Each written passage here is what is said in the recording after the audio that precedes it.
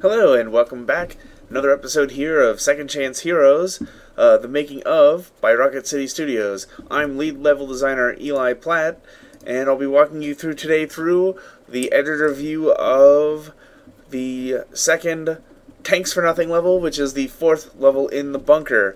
Alright, so here we've got our safe room next to our football helmet, and you venture out of here and you cut back across this open area, and you're into the tanks. You climb up on this scaffolding, and now you're up top, and you have some options. Um, so really when they were building this level, they wanted to uh, do everything as somewhat of an airplane hangar. And uh, then we decided that we were going to do a level that was an airplane hangar, and so we wanted a warehouse. And so I tried to try uh, to come and think of how to make that interesting, how to do the elevation changes like I had done in the Hobo Colony. And I decided that instead of just using this stuff to build regular scaffolding, I thought of like really big factories where machines are so large the machines have scaffolding on them and platforms and test laboratories where you can take samples and do tests, you know, without having to go back to a laboratory. And so that's what I tried to build here, where we've got like desks and computers and filing cabinets underneath of other things. We've got this this big network of shelving. Um, so one of the cool things also once you get up here is this set piece back here where I've had a tank drive into and knock over this first shelf which has then collapsed and let me let me isolate this out for you actually view invert selection edit let's see view, hide selected. And then I'll just grab this. There. This is all in the foreground view. Hide selected. And so I've driven this tank. Well, I haven't driven the tank, but I've placed the tank so that it is knocking over this first shelf, which is collapse into the second shelf, which has collapsed into the third shelf, and there's a shelf that's slid and fallen off. Excuse the group node here. That's what that is. It denotes that that's the center point of a group. Uh, and then that shelf has fallen in, and so it's got this whole effect. And you'll see like all these little boxes are like wedged in and stacked on top of each other and knocked out of the way and not intersecting each other in a way that doesn't make any sense. And like all of these barrels have been pushed back towards the edge, and one of them is over here and it's fallen off. And all of this, I don't know if you saw. I don't know if you actually saw the video earlier when I was talking about this in the beer levels, but all of this was done by hand. It wasn't done in a physics engine. So we don't have like physics pl plugins where we can push over an object and make it physics interactable, and then once it comes to a rest, save the position of that object. I know that's a method that's that's used in maybe some other games, but uh, in ours, it was a measure of just going in and building this all out by hand and making it look as natural as possible. And so I think when you see it, particularly from this angle, uh, the way it's intended to be seen, it looks very natural, where everything is just fallen over and sort of seems to be resting at its gravitational normal.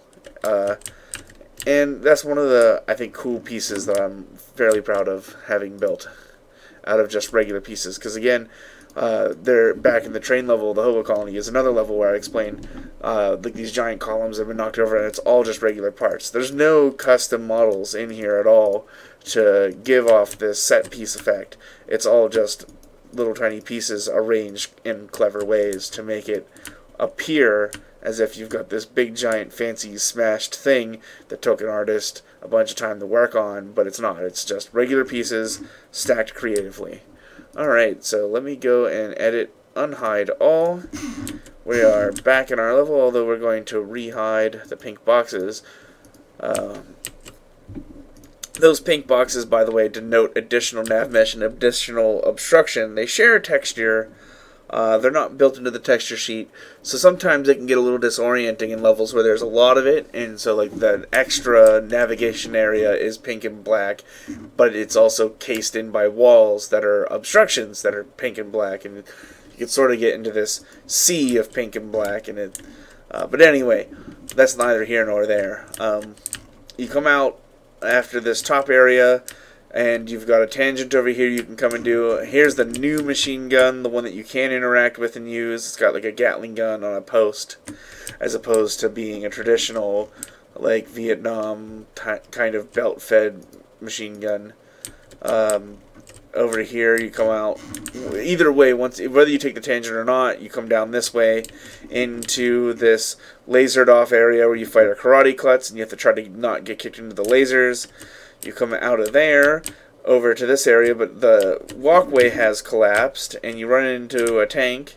You can't use it. There used to be a big artillery cannon here, but the artillery cannon uh, never quite worked right, so we pulled it out and just used the tank. And it's also the tank level, so that uh, works really well. Earlier in the level, you can see another spot over here across this. Of course, you can't travel across it, but now we finally reached the other side, and you actually get to climb across the top of some of these shelves on over to the continuation of this platform where you come down and you fight the boss. And now this is one of the earliest bosses in the game that we actually built a space for and decided what we wanted him to do. And ultimately we didn't end up having him do the things we wanted him to do. But he's there and he's still pretty cool.